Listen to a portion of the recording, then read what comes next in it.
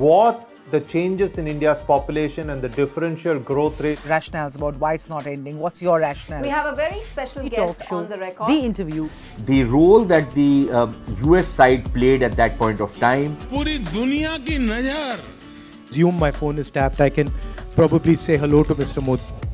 आपके भारत पर है Pakistan has a unique negotiating The style. rising confidence of India under Prime Minister Narendra Modi Communist China is the greatest threat There will come a day that we will see far more radical extremists. I'm, uh, I'm still a little perplexed by why we. Your daily dose of news from India and across the world.